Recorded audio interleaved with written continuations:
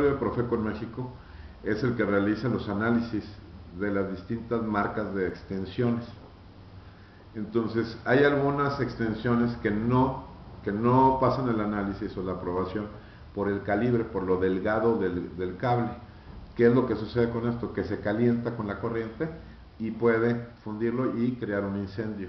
Entonces nosotros todavía no iniciamos con ese operativo, más sin embargo yo calculo que en unos 15 días vamos a estar trabajando ya en eso y en eso más los juguetes, ¿verdad?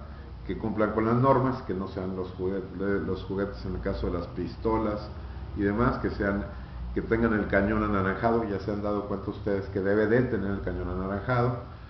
Este, pero en 15 días iniciamos ya el operativo de lo que es la temporada dicembrina. Normalmente, ¿cuántas anomalías se detectan o, o, cuáles son las principales que se detectan en la temporada navideña?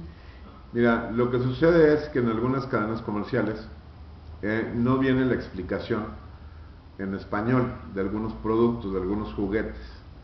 Los juguetes bélicos es otra de las, de las anomalías.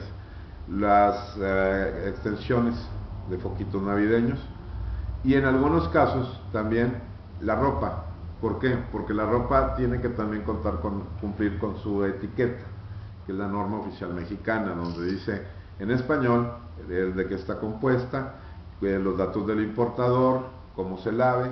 Entonces nosotros checamos eso, todo lo que es ropa, calzado, durante esta temporada también lo revisamos. Entonces, pero esos son operativos que tenemos año con año y ya tenemos detectados eh, dónde se da la mayor... Eh, incidencia en este tipo de productos que no cumplen con la norma. Y este, lo que volvemos a recomendar ¿no? es que la gente realmente se informe. En el caso de las extensiones, que compren las que tienen el fusible. El fusible es muy importante para las extensiones. ¿Por qué?